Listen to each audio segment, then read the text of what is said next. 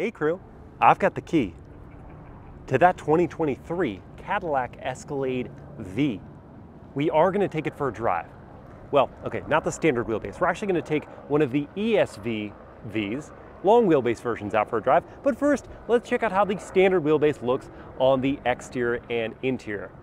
So up front, the way you're gonna know it is a V is because it has this big black mesh grille, unique lower fascia with a functional front air dam, you still have the LED headlights and DRLs, but now those DRLs are baked within a side vent style thing. They're actually non-functional vents, but they do look cool. This one is in radiant red. Is a deep red color with nice metallic flake on the surface. It pops so much in the sun. This Arizona sun is baking me at 109 degrees right now. In profile, the V gets these unique 22 inch dark gray painted wheels they're wrapped in Bridgestone Alenza all-season tires, 275 section front and rear. And within those wheels, we see the red painted Brembo brakes, six piston calipers up front and four piston in the rear. You've got your V badge here in the front doors, body color matching door mirror, blacked out window trim. Stepping back to look at the profile, the standard wheelbase is long, but the ESV at just under 19 feet is kind of crazy. And yet with the V styling and the focus on performance, it does look cool. At the back, we don't have any crazy wing or anything. Just have these LED taillight bars. You've got your V badge on the bottom portion of the tailgate, a larger diffuser with body color matching centerpiece, and these blacked out quad exhaust ports. What I love about the Escalade V is that they didn't overdo it, right? It looks meteor, but it's not like garish in any way. Let's check out that interior. I've made the transition now to an Argent Silver Metallic ESV version of the Escalade V. So, opening up, power running boards come on down and looking inside at this auburn colored semi-aniline leather interior. If you don't like this color, which is a reddish brown, you can choose black for your seats. Chevron symbol is here, and then this unique stitch pattern on the insert, Escalade for your tread plates, leather on the door panels, you get unique to V this zebra wood trim, which is a cool pattern. I'd prefer open pore to gloss, but that's okay. Metallic accents here on the door, power one touch windows, leather wrapped armrests, harder touch plastics down low, and then an AKG 36 speaker studio quality sound system as standard on the V. To fold down and away the seat, pop the lever once and then twice. Now you've got a nice wide opening to get to the third row and then a leather wrapped grab handle to do that, to walk in easily. Now here I'm at six feet tall. I'm behind the second row seat that I've slid all the way back. I still have knee room, big foot pockets, and of course at the middle seat I can extend my leg. Headroom is also generous. And even if my head was on the roof, it is a suede wrapped headliner. Very nice. You've got your USB-C port there, cup holders, and a padded armrest portion. In the second row, I've turned the truck on so you can see these two 16 inch displays that are standard on the V along with your third zone of climate and your rear heated seats. Cup holders are hidden in here. You've got lots of outlets down low, including an AC outlet. Here with the seat slid all the way back, I've got tons of leg room, good foot pocket room. If I did need to slide it forward just a bit to give the third row passenger room, I still have knee room and headroom is excellent. Conveniences abound in the Escalade V, including the panoramic glass roof. Now let's check out the front. Doors close with authority. Up front, we've got your AKG speakers in the headrest and these heated and ventilated seats with power adjustments. You've got power one-touch windows all around, power folding and power adjusting door mirrors. To open up the tailgate, you reach in here and hit that button. You can also power fold and raise the third row seats. And when we're talking cargo space, it doesn't get better than the Escalade ESV. Loads of space behind the third row, and then you've got power folding and power raising third row seats and power folding second row. And I love how quick the third row makes the transition down and up.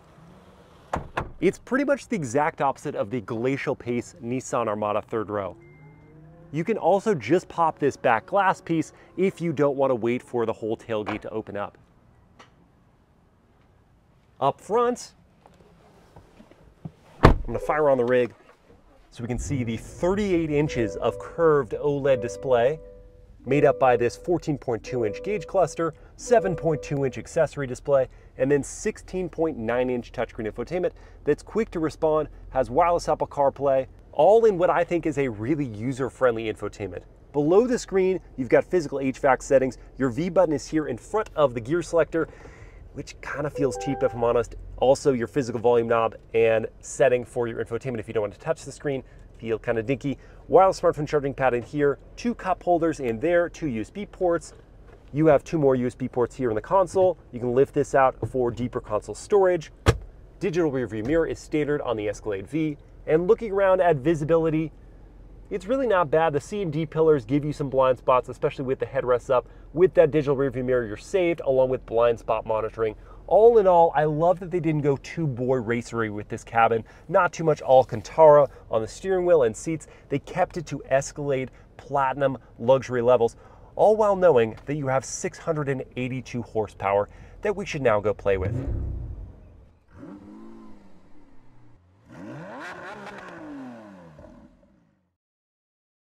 All right, just for fun, let's fire it up again.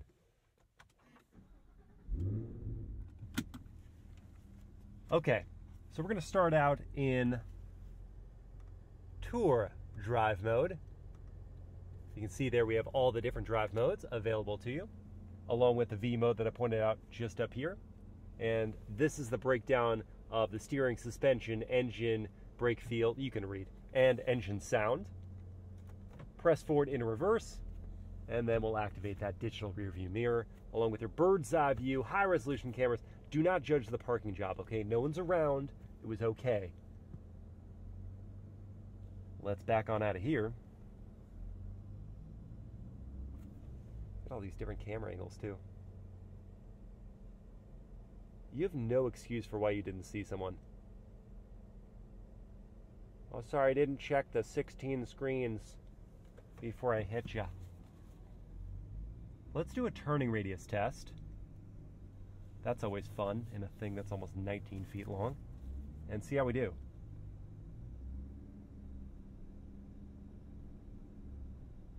That's actually not awful. I'm kind of shocked. All right, so you have to understand this is a huge vehicle, but you can still maneuver it around a parking lot no problem. Let's talk about the powertrain. How can you not? 6.2 liter supercharged V8. It's the same engine you find in the CT5V Blackwing. I say same engine, it's same architecture. This actually has a 2.7 liter Eaton supercharger to the 1.7 liter unit, oh, it's left, in the CT5V Blackwing. Still has the forged internals. They bored and stroked it now, so it makes 682 horsepower and 653 pound-feet of torque. That is 14 more horsepower than the CT5V Blackwing, but six fewer pound-feet.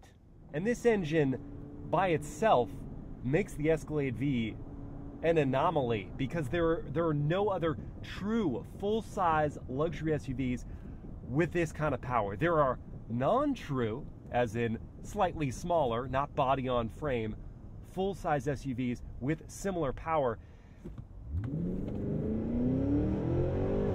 But this is something special. And I promise I'll get back to the engine in a second, but because we're on a highway and because we have the optional Super Cruise system on this vehicle here, I want to use it and talk about why I think it's so good for this segment of semi-autonomous driving systems. For one, one of the coolest parts about Super Cruise is how it communicates with you. So it has all of these alerts to tell you what's going on. And what we just experienced there and what we are experiencing right now is one of my favorite features of it, which is that if you set a speed that is higher than the lane of traffic that you're going, it will move around those cars for you. You don't have to do anything. It just says, oh, you want to be going 75, but we have someone doing 70. We'll go ahead and go around them. I love that feature because it drives in a similar way to the way I would drive. Then this green light bar Very simple way of communicating that yes, the system is working and you're good to take your hands off. But if it's encountering a part of the road where it doesn't have the route mapped, it will flash red at you. Look, it's looking for opening to make the transition back to the right. Again, great communication here.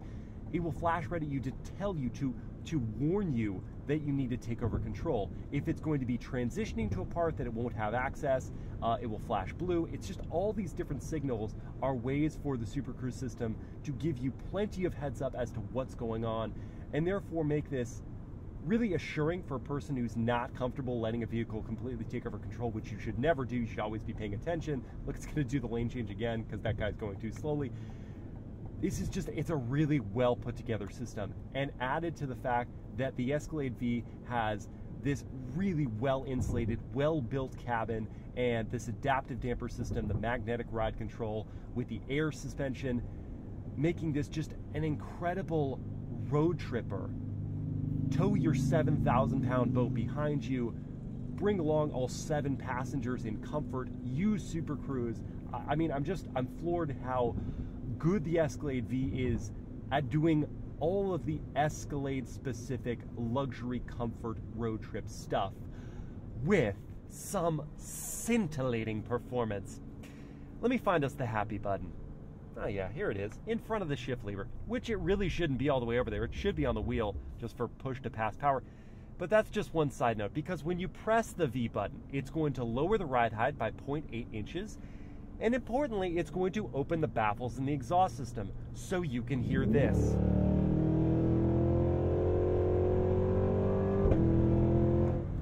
Oh my gosh! And the upshift, I mean,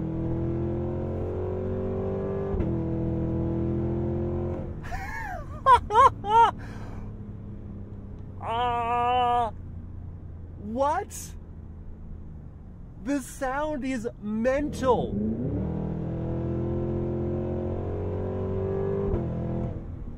The upshift sounds like a cannon being fired, and you actually feel that way. The whole chassis like kicks in this is going to sound weird in a similar way to the way that the Aventador single clutch gearbox kicks you on the upshift. I mean, it's like it's part of the experience, folks.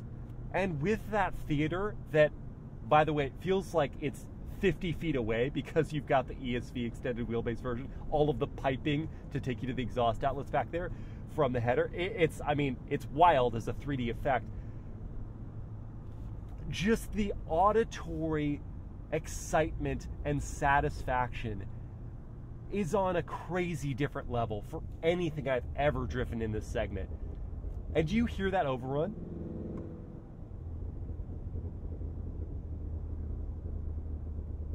It's still going. It was like going for like 10 seconds. And it sounds a little like like I don't know, a world war being fought nearby, or maybe a fireworks like finale just going off. I'll come back to the overrun in a second because right now I'm ushering a three ton plus body on frame, three row SUV through a tough section of corners which is just hilarious to say out loud. But the fact that we have these six piston Brembo pots up front, which do an insane job of scrubbing speed while having excellent pedal feel, the steering actually being kind of communicative, especially on longer sweepers where the buildup, the progressive buildup of resistance through the wheel is uh, very solid the adaptive dampers holding the body as well in place as possible. I mean, yes, you've got the weight that settles into the corner and pushes you out wide. And the turn in is not rapid, but I don't think you'd want that in something this big and heavy anyway. It's just kind of ridiculous. Uh, low fuel warning. Big surprise. We don't know what the fuel economy is for the Escalade V, but it's not good. It's just kind of ridiculous that you're even able to attempt this and kind of pull it off in something this big and macho. They did just a crazy good job engineering this platform that I'm actually having lots of fun when the traction control system which you can't defeat, isn't overwhelmed. This ultimately is not what the Escalade V is about. It's fun that you can do it, but it's not what it's about. It's about that blend of comfort and sound and straight line performance by that incredible V8 theater. I can't get enough of it.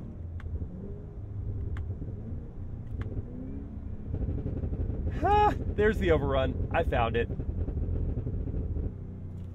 Oh my gosh.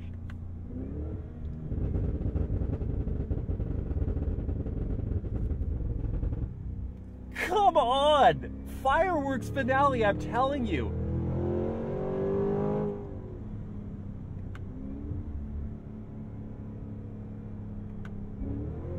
Yeah, this 10 speed's good.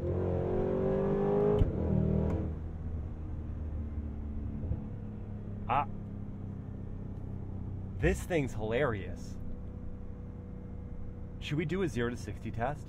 So we do have launch control with V mode activated. You just put your foot hard on the brake. Got my RaceBox set up here. No one behind me. Pin the throttle. Holds.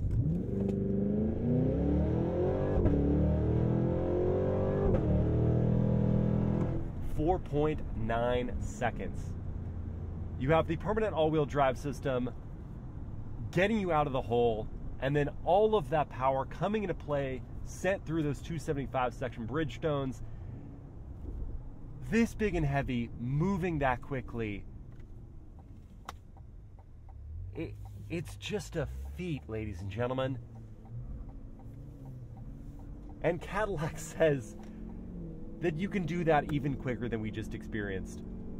For the ESV, probably looking at four and a half seconds if you get just a perfect launch. And for the standard wheelbase, short wheelbase, uh, you're looking at under 4.4 seconds. What a time to be alive. And at last, it's time to talk about pricing and competition for the 23 Cadillac Escalade V. Take a deep breath because it starts at $150,000. For reference, that is almost double the starting figure for the standard Escalade. Now, as I mentioned in the interior walk around, you are getting the platinum grade level of luxuries. And I think, you know, as equipped, this would be a little over $110,000 for a regular Escalade, excluding the powertrain and mechanical components that come along with the V packaging. So just, just keep that in mind. But yeah, $150,000. There are no real direct competitors. Again, as I mentioned, this kind of power in a true ladder frame, full size SUV doesn't exactly exist. So, what I'm going to do is pick one of the other body on frame full size SUVs to compare to, and one of the unibody, little bit smaller SUVs to compare to. So, we'll take from the full size body on frame the Jeep Grand Wagoneer. That starts at just under $90,000.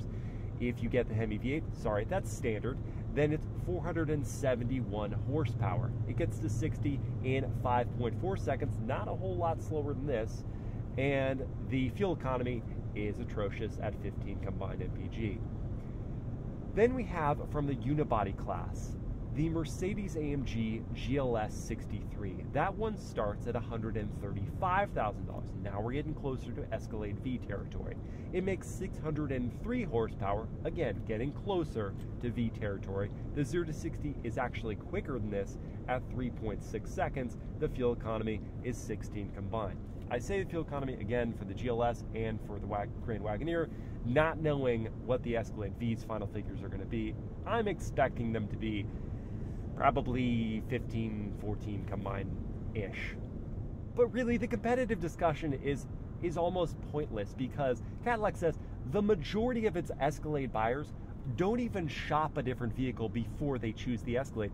And Cadillac's kind of owned this segment since 2014. So for them to release the penultimate Escalade, the V, is like those who think they want it all they have to do is ask themselves whether they can afford the starting figure because they're going to buy it. Cadillac said they're doing a limited run of these vehicles. They haven't said exactly how many, but I can pretty much guarantee they'll sell every one that they make. So the price is just kind of set aside here. What you have to think about is how the Escalade V and the CT5V Blackwing are the end of an era for Cadillac. This, uh, they already told me, is the last internal combustion engine car launch they're doing. And that means not just like, uh, end of an era, that's cool, get the last one. But you have to think about all of the years of development, time, sweat, and energy they've put into their internal combustion engines, and they're throwing everything they've learned at this vehicle. And I think that 150K might be worth it for all those years and all that effort of development. That's just my take on it. It's it's a supremely luxury, luxurious, comfortable, BA looking, absurdly powerful, hilarious sounding full size SUV. I hope you guys have enjoyed this POV drive review as much as I've enjoyed making it. If you did, please like, comment, and share the video. Subscribe to the channel, hit that bell to get notified, and I'll see you again next time.